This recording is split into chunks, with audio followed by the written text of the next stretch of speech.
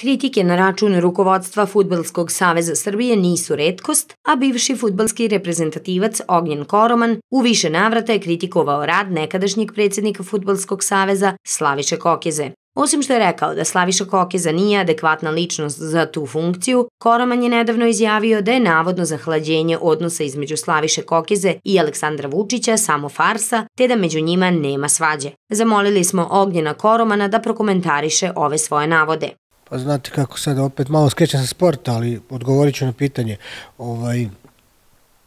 komentarisati Slavišu Kokezu meni je više postalo smešno i suludo. Ja kad sam pre godinu dana pričao za Kokezu, ko je Kokeza, ljudi su me sumnjičavo i slušali i posmatrali. Sad kada, se, kada, kada je klubko počelo se odmotava, kada su videli ko je Kokeza, svi ti isti ljudi i novinari i, i drugovi, prijatelji i građani me zovu i govore kako sam bio sve u pravu komentarisati Slavišu Kokezu i njegov odnos sa, sa Vučićem i sa, sa to je jedna svita, jedna grupacija ljudi koja je, koja je dovela do, do toga, sami znate da nam je futbal, ne treba ja opet da ponavljam. E, to svađa Vučić Kokeza, pa Kokeza je doveo Vučića na vlast, nije Vučić doveo Kokezu, tako da to su meni sme, za mene smešne priče i malo, malo inteligentni, pametni čovek u Srbiji zna šta se radi, na koji način se radi.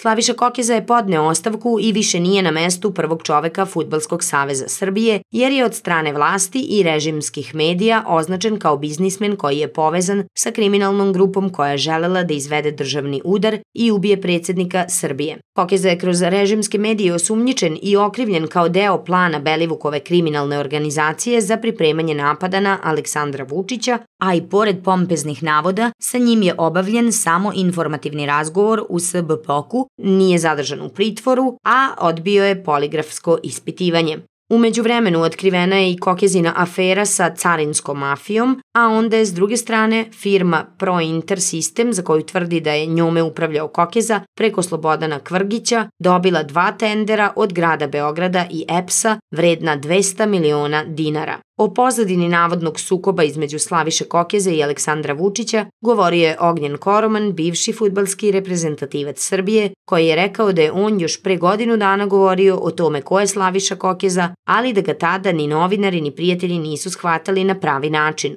On je dodao da Kokeza i Vučić pripadaju istoj grupi ljudi koja je i dovela do veoma lošeg stanja u srpskom futbalu.